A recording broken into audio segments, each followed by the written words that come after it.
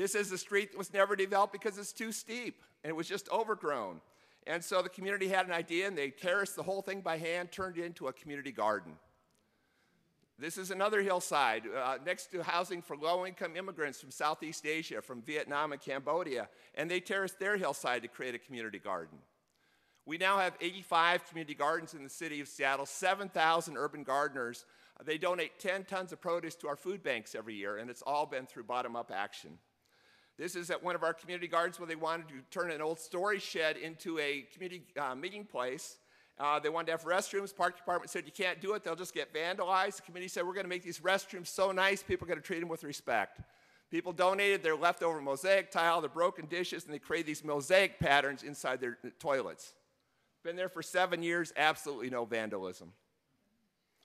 Kids who were busted for graffiti are now creating murals to uh, cover those graffiti covered walls in a program through which uh, 5,000 kids who've been through the court system have an option to uh, uh, uh, uh, another option, which is to help create murals throughout the city, have now created 1,500 murals throughout the city of Seattle. This is a business district that was totally boarded up. This uh, block had been uh, boarded up for 15 years. We couldn't get businesses to come in. So finally, the community organized and said, well, if we can't get real businesses, let's pretend. So we painted all the boarded up doors and windows to make it look like there were businesses. People got excited. Cars were stopping. People wanted to get out and shop. Within a year, we had to take down every one of the murals because real businesses wanted to get in on the action. So this is what it looked like one year later with uh, all new businesses. There are now no empty storefronts in Columbia City. This is under the Aurora Bridge in Fremont neighborhood where they're having a terrible problem with illegal dumping, with lots of drug dealing going on. Any other neighborhood would put up fencing to close it off. Fremont, they had a better idea. We'll install a troll. that troll's been so popular, it brings legitimate traffic now from absolutely all over the world.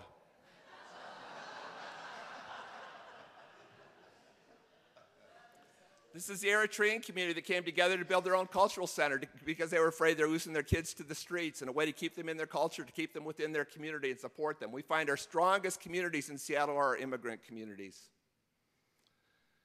But then community said, you know, we're putting all our, this matching fund is fantastic. It's great. We love it. The problem is we only have access to a small share of the city's resources with the matching fund.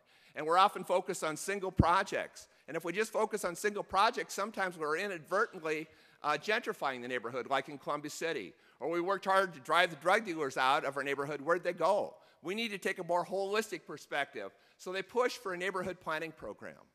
And they said neighborhood planning will also be a way to leverage the city's resources to make sure the city's budget is responsive to our community's priorities. Because it's not enough just to focus on our own assets in the community, we also need to make sure that the government's responsive to our communities. So we started an unprecedented bottom-up planning program where we provided money to neighborhood groups where they could hire their own planners who were accountable to the neighborhood. But we only gave them the money once they had all the stakeholders at the table from the community and they had a plan for how to, how to involve the entire community in the planning process. So uh, our mayor at that time said, we're letting the genie out of the bottle. We'll never get it back in. He understood the risk he was taking, that and, uh, uh, but was willing to take that risk. 30,000 people got involved in this neighborhood planning process. 38 neighborhood plans resulted. There were over 5,000 specific recommendations. But because there was a huge constituency for these plans, because people understood the plans, they weren't allowed to sit on the shelf. People held government accountable for implementing those plans. So the city reorganized into six sectors, creating interdepartmental teams to, to fold neighborhood recommendations in department work programs and department budgets. And through that, we carried out a lot of the recommendations. And then we started building bond measures and levies around what the people had asked for in their plans, rather than what the politicians said was important. We looked at what the neighborhoods had said was important. People said we want new parks, we want new libraries, we want new community centers.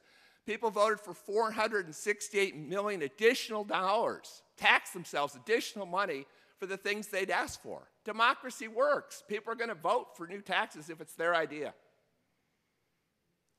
But the best thing that happened out of the neighborhood plans was that people took ownership for them themselves. They took responsibility for, for a lot of the implementation because, again, there's so much communities can do better than government. And so out of, uh, at that time was when our mayor tripled the neighborhood matching funds so that there'd be a lot more capacity to do community self-help projects. uh, and those are now happening all across uh, the city of Seattle. So in, in conclusion, I think the hallmarks of effective community partnership are one, that it needs to be neighborhood or community focused so that it's accessible, culturally appropriate, and holistic. Secondly, that it needs to be asset based, not only focusing on the community strength, but making underutilized agency resources available to help support community priorities. And third, that it needs to be community driven. Uh, promote inclusive democratic associations that empower community in every aspect planning, decision making, implementation, and evaluation. This program is now not unique to Seattle. There are now neighborhood matching funds in Kobe, Japan, in Port Elizabeth, South Africa, in uh, Dublin, Ireland, in um, uh, Sydney, Australia. There's bottom up planning all over the state of Victoria in Australia. It's a, it's a growing movement where governments are, are starting to understand they can't do it by themselves. They can't do it in a top down approach, but by involving the community, the power expands, and you're able to do so much more. So, thank you.